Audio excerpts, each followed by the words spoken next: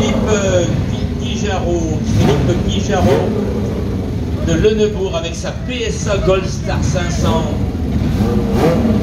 Il a donc euh, le numéro 95, c'est ça, hein 95. Oui, Thibaut Johannes.